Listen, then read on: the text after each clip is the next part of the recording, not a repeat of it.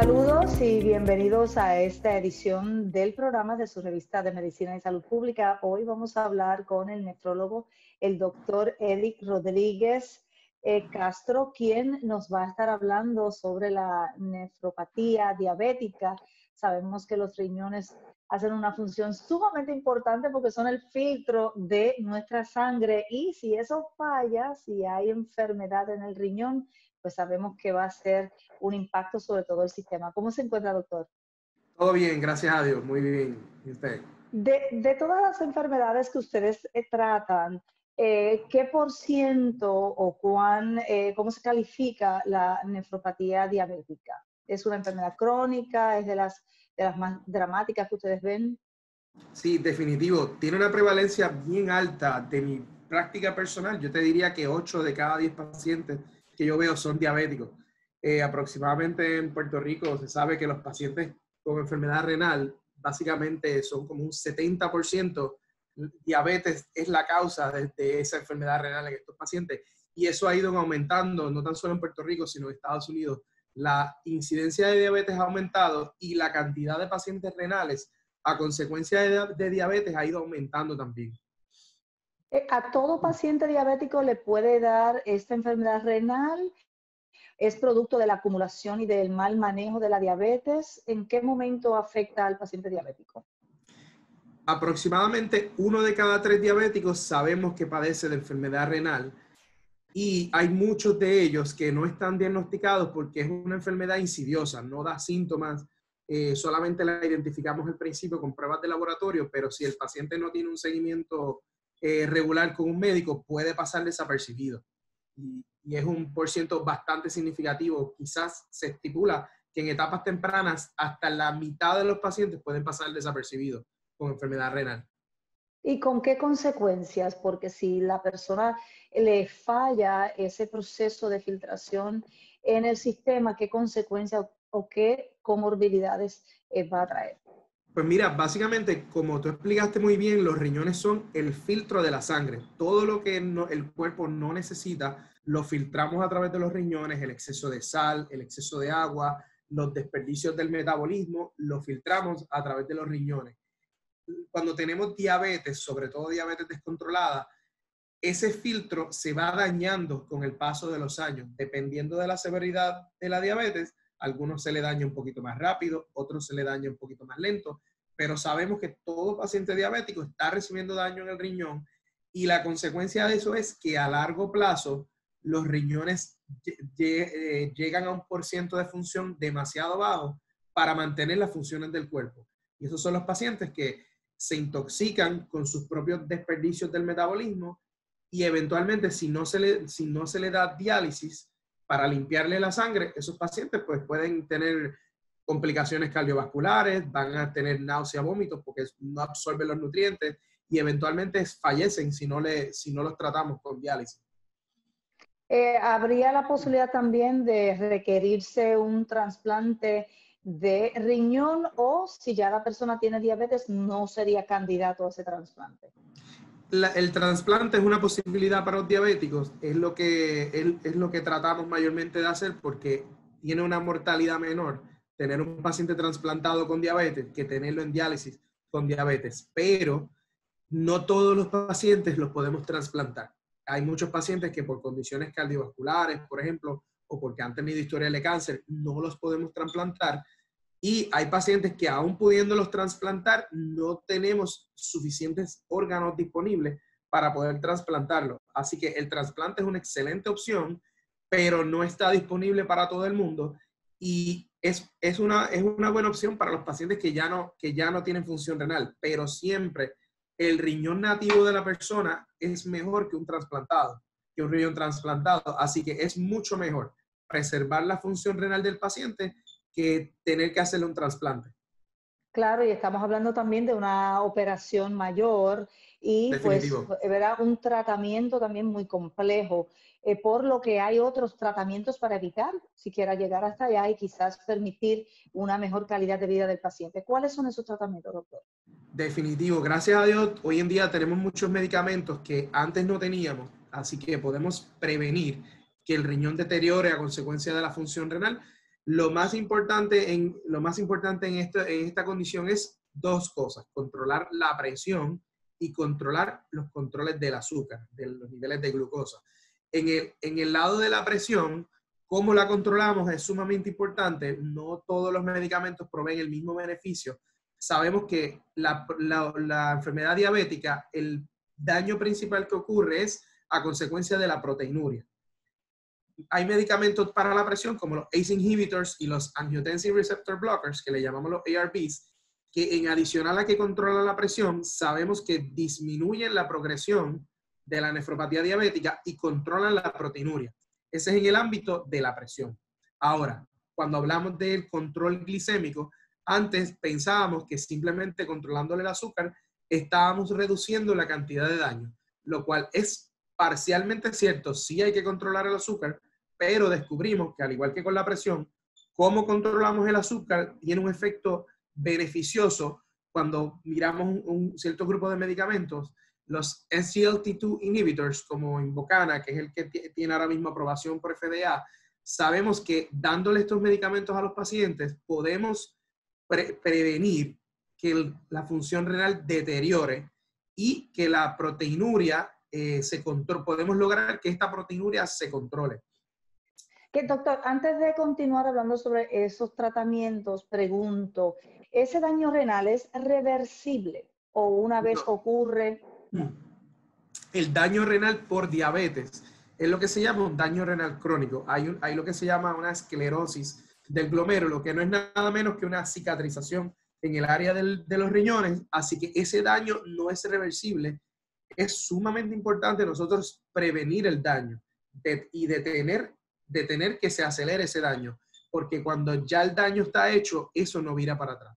Cuando un paciente ya está en etapas que necesita hemodiálisis, no hay medicamento que podamos darle para regresar esta función, esta función renal, para revertirla. Y los tratamientos de los cuales usted nos estaba hablando, eh, ¿se comienzan bien temprano en ese daño renal? ¿Hay forma quizás de iniciar un tratamiento preventivo? Sí, definitivo lo, más importante con la diabetes es detección temprana. Mientras más temprano lo, lo comencemos, mejor es para el paciente, más años, más años de vida para el paciente y más años de vida para ese riñón.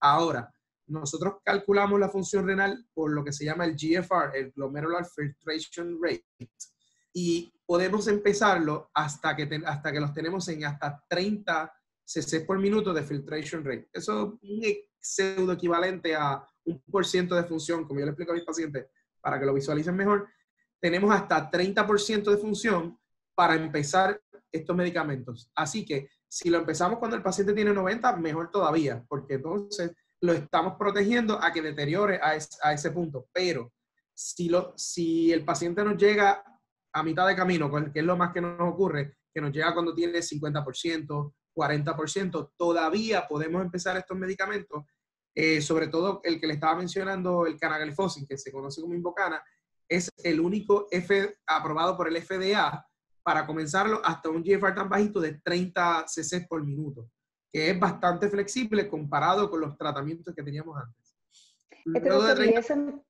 ¿Y ese medicamento únicamente se utiliza en el caso de la nefropatía diabética o se puede utilizar también cuando ese riñón tiene ese nivel de funcionamiento bajo por alguna otra condición? No, ese medicamento tiene la aprobación del FDA es para nefropatía diabética, es un medicamento para control glicémico. Lo que hace es eh, ayuda a que el riñón elimine más azúcar a través de la orina, eso baja la presión dentro del glomérulo y evita que el riñón se esfuerce demasiado a largo plazo, le, lo protege de que no se esclerose, de que no se formen esas cicatrices que estábamos hablando, pero solamente se utiliza para diabéticos tipo 2. No tiene aprobación para diabéticos tipo 1 y como el mecanismo de acción es control glicémico, pues no se usa hasta el momento, no se ha estudiado para otras condiciones. Claro, la persona con diabetes, que vive con diabetes, se debe estar tratando con su endocrinólogo casi, casi como su médico primario, ¿verdad? Para esta condición. Definitivo. Eh, pregunto eh, si llega al nefrólogo en etapas tempranas, porque hay un cernimiento y un seguimiento que debe hacer eso, ese endocrinólogo. para saber cómo va esa función del riñón. Primero vamos a hablar un poco sobre cuáles son esas pruebas y segundo, pues su opinión de si llegan a tiempo, donde el nefrólogo, después de que ya cuando ustedes intervengan, pues no sea tan tarde o la condición esté tan avanzada. Claro, pues mira, la, en etapas tempranas, nosotros medimos para saber si hay daño renal, miramos dos cosas. Miramos la creatinina en sangre, que si aumenta sabemos que hay daño renal significativo. Y lo otro que miramos es las pruebitas de orina, miramos si hay proteínas en la orina, porque ese es el marcador más temprano de que hay enfermedad diabética. Lamentablemente... esa, proteína es la albúmina. Sí, eso es lo que llamamos la albúmina. La, se puede medir en el unianálisis sale como proteinuria, pero si queremos ser más, más específicos, pedimos la microalbúmina en orina, la dividimos entre la creatinina en orina y eso nos da una razón. Y esa razón, eh, si es más de 30, sabremos que el paciente está teniendo microalbuminuria. Si es más de 300, sabemos que el paciente tiene proteinuria significativa, que antes le llamábamos macroalbuminuria, ahora se le llama severe proteinuria. Eh, y eso es bien indicativo de que estamos teniendo daño renal en etapas tempranas, eso es lo mejor que tenemos para diagnosticar a estos pacientes. Esto, recordando, esto no da síntomas, esto no da alertas. Algunos pacientes pueden ver espuma en la orina, pero no es algo universal. Muchos pacientes no pueden, pueden no tener ningún síntoma y esto está progresando, haciendo daño poco a poco. Así que es bien importante que el paciente tenga un cernimiento rutinario con su médico, que su médico le, haga le pide estas pruebas y para poder identificarlo. La, eh, cuando vemos que la creatinina aumenta, ya hay un daño significativo. O sea que todavía es importante referir a los pacientes y verlo, pero ya el daño, ya el daño está ocurriendo. Así que es importante que antes que la creatinina suba, los médicos manden a, eh, a los pacientes a evaluar para proteínas en la orina. Bien importante eso. Comentando sobre la pregunta si los pacientes llegan a tiempo al endocrinólogo, pues mira, lamentablemente tenemos una escasez de endocrinólogos en Puerto Rico donde yo tengo muchos diabéticos que jamás en su vida han visto un endocrinólogo. Es, bien significativo la, la, cantidad de pacientes diabéticos de toda la vida que nunca han visto un endocrinólogo. O sea, que definitivamente no están llegando a tiempo, no están llegando ni temprano ni tarde al endocrinólogo, simplemente no están llegando. Y en el caso de nosotros, los nefrólogos, que a veces hacemos el trabajo del nefrólogo y del endocrinólogo, porque el paciente no tiene endocrinólogo, también estamos viendo que nos llegan un poquito tarde, porque ya cuando el paciente tiene la creatinina alta, muchas veces no podemos, no es mucho lo que podemos hacer porque estamos limitados en la cantidad de medicamentos que le podemos dar para prevenir esto. Usted mencionó que los endocrinólogos son pocos en Puerto Rico, me imagino que los nefrólogos también son una cantidad bastante reducida de especialistas. También, definitivo, hay pocos nefrólogos en Puerto Rico. Eh, ahora con la pandemia, pues los recursos también están más limitados porque hay menos flujo de pacientes en las oficinas. O sea que es un, es un reto, es un reto bastante grande eh, y es bien importante, es bien importante, ¿verdad? Que tratar de hacer que estos pacientes lleguen al nefrólogo porque el costo, el costo en la salud del paciente de prevenir la enfermedad versus dejar que progrese, es bien significativa la diferencia. La morbilidad, la mortalidad y la calidad de vida de los pacientes dependen de que estos pacientes lleguen a su nefrólogo a tiempo, lleguen a su endocrinólogo a tiempo y, y que puedan recibir los tratamientos que mencionamos para prevenir la enfermedad. No siempre podemos evitar que el paciente llegue a diálisis, porque si nos llega muy tarde a veces es un poco difícil, pero muchas veces lo podemos retrasar significativamente para que la calidad de vida del paciente sea mejor. lo importante es que los nuevos protocolos para estos tratamientos eh, ya indican que se puede comenzar bien temprano, como usted señaló al principio, para evitar esa progresión de la enfermedad. Definitivo, no tienen que esperar, el médico primario, en mi opinión, no tiene que esperar a que el nefrólogo lo vea. Si tiene un paciente con proteinuria, ese paciente debía, con, con diabetes tipo 2, y proteinuria, ese paciente, el mismo médico primario, lo debe empezar o en un ACE inhibitor o, y, eh, perdón, un ACE inhibitor o un ARB y lo debe comenzar en un SGLT2 como Invocana, para prever, que es el que tiene la indicación renal, para empezar a proteger ese riñón antes de que el nefrólogo lo vea. Muchas me ha, me, ha, me ha ocurrido que el paciente ya viene con todos sus medicamentos a bordo y ese paciente definitivamente le va mucho mejor que porque está protegido desde etapa, desde etapa temprana y si los podemos empezar a todos, a todos los pacientes en etapa temprana, reducimos significativamente la cantidad de pacientes que van a estar en diálisis. Y esto, ¿verdad? Yo siempre hago hincapié en esto porque no solamente, no solamente es el, el costo de la vida del paciente, el costo de salud de diálisis es bien significativo. Medicare paga aproximadamente 90 mil dólares al año eh, en diálisis, en hemodiálisis por paciente. Si nosotros podemos prevenir que estos pacientes estén en diálisis, aunque tengan que pagar más en medicamentos, es mucho más costo efectivo para los planes médicos y para Medicare prevenir la diálisis que, que tener al paciente que termine en diálisis. El paciente está peor, el sistema va a estar peor porque va a estar pagando más por estos tratamientos y los médicos van a estar peor. Si podemos proteger a estos pacientes, es bueno para el paciente, es bueno para el médico porque tenemos los pacientes más saludables y bueno para el sistema de salud también. O sea que es lo que le llamamos un win-win situation si podemos prevenir que esta enfermedad deteriore. ¿Y los planes médicos cubren, la, cubren eh, estos tratamientos con la recomendación del nefrólogo y del médico? Eh, no todos los planes los están cubriendo. Hay mucha variación, depende del plan médico. Eh, por ejemplo, los que son Advantage, que son beneficiarios de Medicare, es mucho más fácil lograr la cobertura. Eh, cuando estamos hablando de pacientes de vital, es mucho más difícil porque son medicamentos más costosos algunos. Eh, pero mi experiencia ha sido que cuando los médicos justificamos bien los medicamentos y le explicamos a, a, la persona que nos atiende del plan por qué se los estamos dando, usualmente ellos, ellos eh, le proveen el medicamento al paciente. Así que yo creo que lo importante es que el médico que está recetando este, este paciente lo justifique y le y explique en una carta por qué lo está recetando, que no es solamente porque le quiero controlar el azúcar, sino explicar que ese paciente tiene enfermedad renal, justificarlo apropiadamente y que es, es beneficioso para el paciente en cuestión de mortalidad y costo efectividad que el paciente tenga ese medicamento hasta la fecha, los pacientes bien justificados no he tenido ningún problema. Algo que ayuda mucho a los médicos primarios es que se lo refieren a los subespecialistas, porque si es el nefrólogo y el endocrinólogo, en adición al internista o al primario o al, generalista que, está recetando, que están favoreciendo el medicamento, eso le da un empuje un poquito más fuerte a que el plan médico se lo apruebe. Lo importante es que el paciente esté consciente de la gran probabilidad de sufrir daño renal y que tiene que estar muy atento, ¿verdad? Y un poco también eh, exigir las pruebas de seguimiento que usted mencionó durante el programa. Muchísimas gracias, doctor.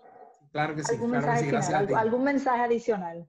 Sí, lo que quería decir es, en hincapié en eso que acabas de decir, esta enfermedad, el, el paciente tiene que ser dueño de su tratamiento y dueño de su enfermedad. Bien importante lo que acabas de decir, que el paciente debe hablar con su médico y exigirle, mira, quiero que me hagas estas pruebas, quiero que me chequee, porque la realidad es que la cantidad de médicos en Puerto Rico estamos escasos y si el paciente nos ayuda a buscar, a buscar él mismo la ayuda, no esperar a que el médico sea el que, sea el que le haga el approach, sino que también el paciente buscar ayuda, buscar nefrólogo, ayudar al médico en su propio tratamiento y eso va a ser un impacto significativo en la cantidad de pacientes que vamos a poder ayudar. Claro que sí, muchísimas gracias y por eso contamos con expertos como usted, especialistas para orientar al público y también pues exhortamos a que compartan esta información y vuelvan a escuchar, por ejemplo, esta entrevista que hemos tenido con el nefrólogo Eddie Rodríguez Castro eh, sobre la nefropatía diabética. Lo compartan y escuchen el podcast que subimos a la plataforma SoundCloud y también que nos sigan en todas las redes sociales bajo revista, arroba revista MSP. Muchísimas gracias, doctor. Gracias a ustedes por la oportunidad. Muy agradecido. Buen día. Hasta la próxima ocasión.